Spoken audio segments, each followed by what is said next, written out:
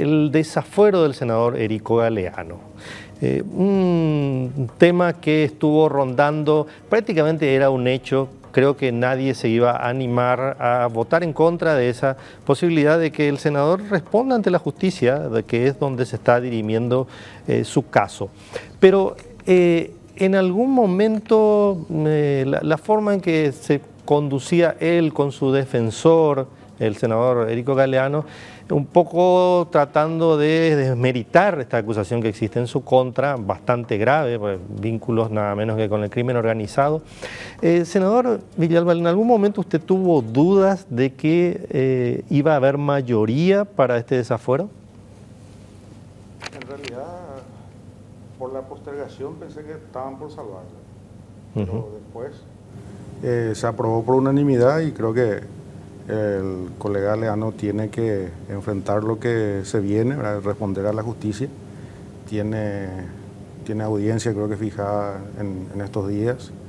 Ahí habría que ver si eh, qué imposición de medida tiene. Eh, también hay otros elementos ahí aprovechando que va a tener la audiencia. ¿verdad? Se habla mucho de la prisión preventiva ¿verdad?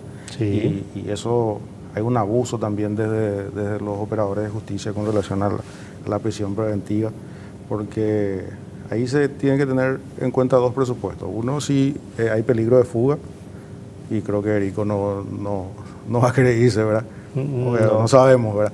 Y el mm. otro, ¿verdad? Si eh, estando fuera eh, puede obstruir el trabajo de la justicia, ¿verdad? Entonces, pero ya que estábamos hablando del jurado, estamos hablando de, cuestiones judiciales, últimamente hubo abusos sobre la prisión preventiva y eso hace que nuestras cárceles el 75% tengan eh, personas sin condena, ¿verdad?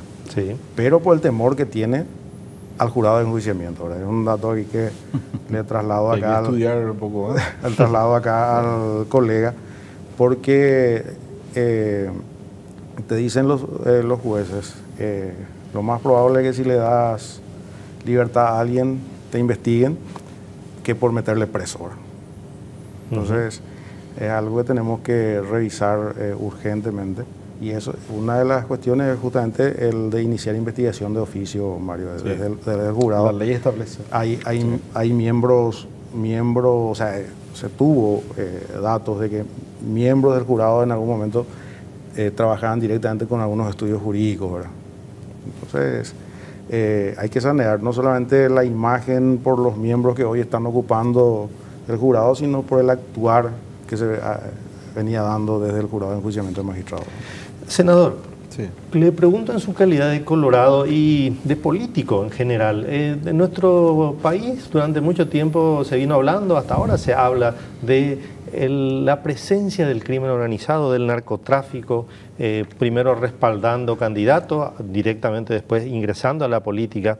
Hay informes que se están escribiendo desde el exterior sobre nosotros, ¿verdad? Yo leí y realmente uno se asombra, quizás nosotros como que normalizamos algunas cosas. Ahora, la figura de Erico Galeano en particular, eh, ¿Usted lo conocía de antes? Yo recuerdo que eh, conversaciones que tenía con parlamentarios antes de que él ingresara en la política, ya eh, hablaban de él como un personaje importante, con un poder fáctico, un poder económico bastante fuerte. ¿Cómo es este vínculo y cómo, ve usted la presencia de Erico Galeano dentro del Partido Colorado y en, también en el Senado? Te debo ser muy franco, Marcos. Yo no lo conocía mucho a Erico de verdad. Eh, tengo entendido que empezó a trabajar con, con el grupo político de Capiatá, él es originario de esa ciudad. Sí. Como empresario, primero estuvo en el fútbol, tengo entendido. Yo no tengo una relación de amistad muy estrecha, no lo conozco demasiado. Eh, pero lo que sí te puedo decir, eh, reflexionando sobre el comentario, no puede haber dudas sobre ninguna autoridad pública, sobre su honorabilidad o algún tipo de, y mucho menos cuando hay una imputación fiscal, por lo que nosotros desde el, inicio de, este tema jamás hemos dudado de dar el desafuero, nunca. Y cualquiera sea el senador o el diputado, yo pienso que hoy es una exigencia para la ciudadanía, para el, hombre público y ante la ciudadanía, uno tiene que pedir su propio desafuero. No puede haber dudas, dudas sobre la honorabilidad o la honestidad de un representante público, Marcos. Eso es categórico. Yo creo que en todos los casos los senadores debemos de votar a favor del desafuero, sea cual fuese la causa. Ahora lo que hay que cuidar siempre es la objetividad en el proceso, evidentemente. Yo creo en la Fiscalía General, realmente creo que están tratando de hacer bien las cosas. Pero hay que cuidar, la democracia se construye a pulso, no es una cuestión estática. La política y la construcción de un Estado democrático un Estado de Derecho es una construcción permanente. Puede haber injusticia, puede haber procesos de avances importantes, puede haber retrocesos. Esto se construye permanentemente. Hay un libro muy interesante eh, que escribieron unos autores estadounidenses sobre eh, cómo mueren las democracias. Nosotros tenemos que cuidar la institucionalidad, por eso a mí me parece importante. Yo siendo eh, senador de la ANR, a mí me parece que eh, el papel que cumple la oposición es muy importante. Desafortunadamente hoy la oposición está un poco también con ciertas cuestiones internas complicadas porque no hay una sola bancada opositora, pero eso es una cuestión que yo, no, que yo respeto, pero eh, necesitamos que hayan críticas, que haya debates de buen nivel para que esto no se entorpezca. La democracia tiene que dar resultados.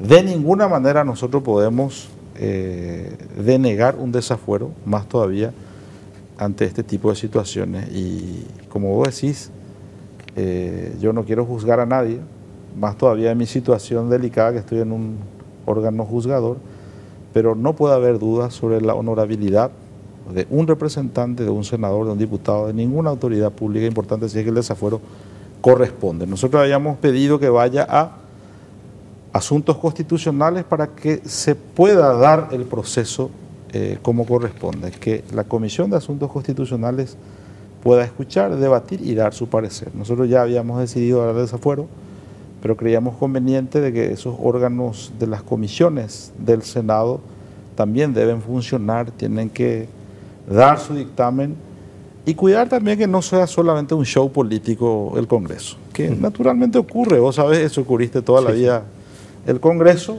yo creo que hay que utilizar el mecanismo institucional. Todos los desafueros deben ir a la Comisión de Asuntos Constitucionales, dictamen y después se vota en el Pleno.